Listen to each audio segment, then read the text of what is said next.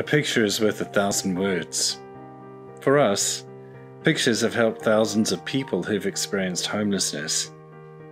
Our project has helped hundreds of homeless people who've taken photos for a calendar.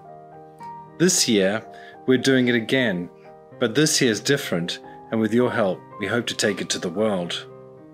Since 2013, the My London Calendar Project has helped hundreds of people affected by homelessness. In other cities around the world, hundreds more.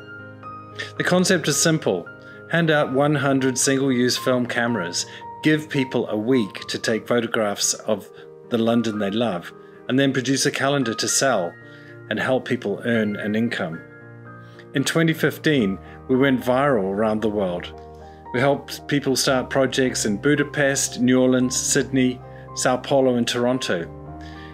We've got together with these cities and we're setting up a new charity called My World.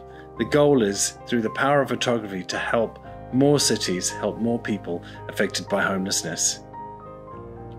It encourages people who are on, on the streets or recently been on the streets to take photographs and it gives them a sense of purpose over the two weeks that the cameras are out. I think this year was really a, a different level. I'm really pleased my photo was chosen.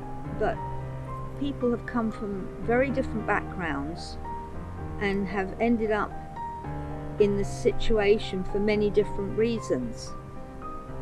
I believe that creativity feeds the soul and it, it helps repair all the damage. And I think it's a major aspect of going back into society. It healed me, so and I've seen it heal other people. A, a bit more confident, and that's why I feel better in, in, in life. I feel better every day. The transition from being homeless or having been homeless into mainstream life can be very difficult.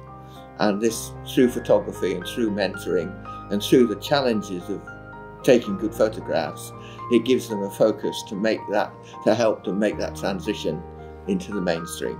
The whole process of, of doing the photographs, being with the people, um, it, it's created a community. I mean, we are a community. I find that, yeah, photography is a creative way for me to um, subdue the negative thoughts. You know, the power of a photograph is incredible. It can change lives.